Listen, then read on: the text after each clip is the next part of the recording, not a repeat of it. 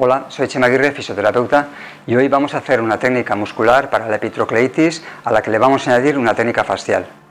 La técnica muscular para la epitrocleitis iremos desde el primer anclaje sin tensión por encima de la flexura de la muñeca, a partir de ahí lo ponemos en máxima tensión y vamos a dirigir el vendaje hacia el tendón común de los flexores.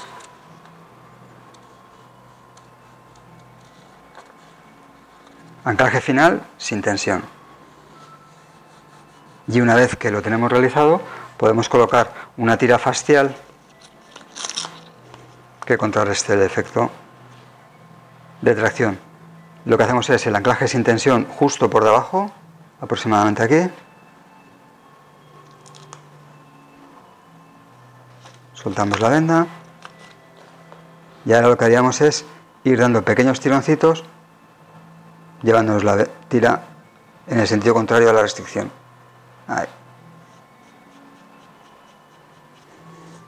Una vez que está hecho, activamos y ese es el vendaje para la epitrocleitis.